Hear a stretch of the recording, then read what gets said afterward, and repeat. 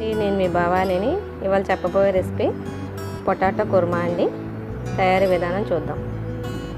Hi friends ఇవాళ potato kurma ఎలా చేసుకుందాం చూద్దామండి. రెండు సై పెద్ద సైజు ఉల్లిపాయలు రెండు పచ్చిమిరకాయలు రెండు కాదంటే ఎక్కువ వేసుకుంటే మంచిది. పచ్చిమిరకాయలు ఘాటే బాగుంటుంది. మూడు బంగాళదుంపలు త్రీ విజిల్స్ వేయించుకొని కట్టుకోవాలి. తర్వాత తొక్కలు తీసేసి ముక్కలు కోసుకొని పెట్టుకోవాలి. ఒక హాఫ్ స్పూను కారం చిటికడు పసుపు ఒక హాఫ్ టీ స్పూన్ కల్లుప్పు తాలింపు దినుసులు కరివేపాకు కొంచెం బొంబాయి రవ్వ వాటర్. ఆయిల్ వేడెక్కిందండి. తాలింపు దినుసులు వేసుకుందాం.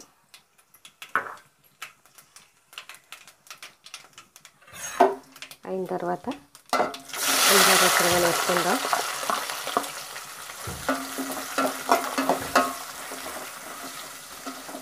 కుర్మా చాలా బాగుంటుందండి. చపాతీల్లోకి రైస్లోకి బాగుంటుంది.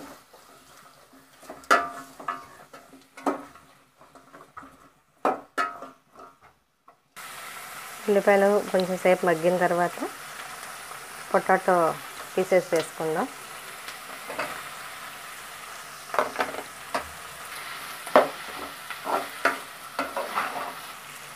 ఈ పొటాటోస్ పీసెస్ ఇలా పెద్ద ముక్కలుగా ఉంచుకోవచ్చండి. లేదంటే కొంచెం స్మాష్ చేసుకున్నా బాగుంటుంది గ్రేవీ. హాఫ్ టేబుల్ స్పూన్ అల్లం ఉల్లిపాయ పేస్ట్ చేసుకుందాం.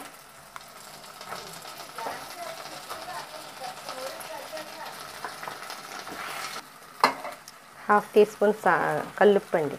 అంటే మనం టేస్ట్కి తగ్గట్టుగా వేసుకోవాలి. హాఫ్ హాఫ్ టీ స్పూన్ కారం చిటికెడు పసుపు. వేసుకొని కలుపుకుందాం.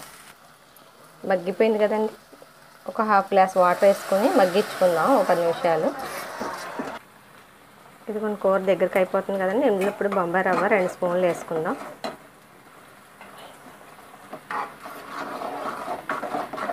ఆ దగ్గరికి అయిపోయిన తర్వాత డిష్ అవుట్ చేసుకోవడం.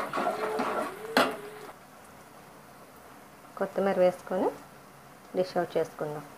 పొటాటో కుర్మా రెడీ అయిందండి. ఇదిగోండి చపాతీ. చేసి పెట్టాను. పుల్కాలోకి పరోటాలోకి పూరీలోకి చపాతీలోకి అన్నిటికి చాలా టేస్టీగా ఉంటుందండి కుర్మా. మా వీడియో కానీ మీకు నచ్చినట్టయితే లైక్ చేయండి షేర్ చేయండి సబ్స్క్రైబ్ చేయ చేయండి. బెల్లాకన్ క్లిక్ చేయండి.